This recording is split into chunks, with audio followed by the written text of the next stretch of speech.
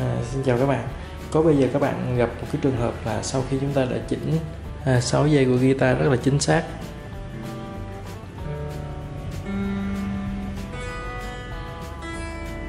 Đó. Nhưng mà khi à, chúng ta đánh hay là solo bấm những cái ngăn ở phía trên này cảm giác nó bị phô phô phô phô. Thì lý do á, là chúng ta đã bị sai cái intonation. Intonation là cái gì? À, các bạn cũng biết là ví dụ như từ à, ngăn ngăn không nè cho đến ngăn 12 thì các cái nốt nó sẽ trở về là một đúng không? Ví dụ như là mì thì ngăn 12 của cái guitar cũng là mì. Tuy nhiên thì có lúc nó sẽ bị cao và có lúc nó sẽ bị thấp hơn. À, do đó chúng ta phải chỉnh lại intonation. Thì à, hôm nay mình sẽ hướng dẫn các bạn căn chỉnh cái việc này. Rồi thì trước tiên à, các bạn phải chỉnh dây cho guitar chính xác. Tôi à, dụ là mi la re son si mi. Phải chính xác nha các bạn.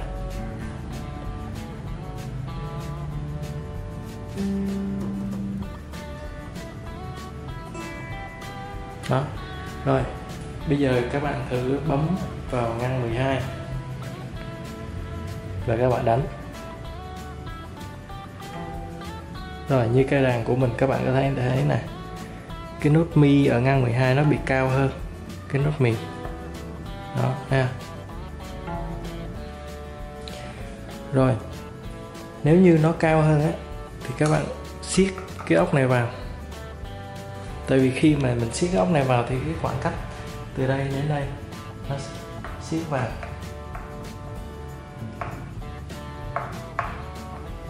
Càng siết thì nó càng kéo cái này vào. Thì khoảng cách từ dây cho đến ngang 12 nó sẽ được nới rộng ra. Đúng không ạ? Thì nới rộng ra thì cái dây nó sẽ giãn xuống. Và bây giờ việc chúng ta là, chúng ta lại phải chỉnh dây.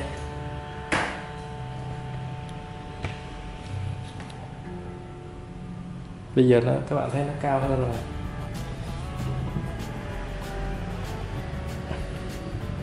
Chỉnh về đúng, nốt mi nha. Rồi. Rồi, các bạn kiểm tra lại. Đó, nó giảm xuống được một tí rồi đó.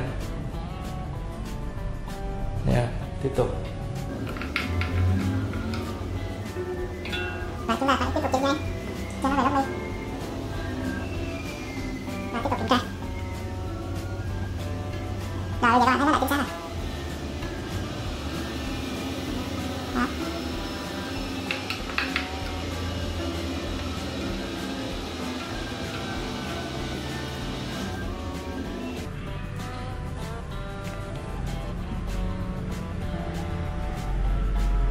rồi. Như vậy là cái intonation của dây mì dây số 6 đã được chỉnh. Các bạn làm tương tự cho những cái dây khác. Ví dụ như dây la này. Cùng kiểm tra à, cho dây nó đúng sau đó nhấn ngăn 12 và kiểm tra lại. Hơi cao. Bỏ xuống. siết vào nha chỉnh lại dây.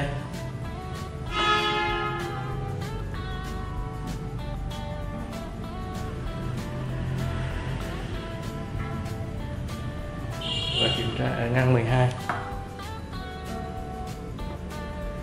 đó.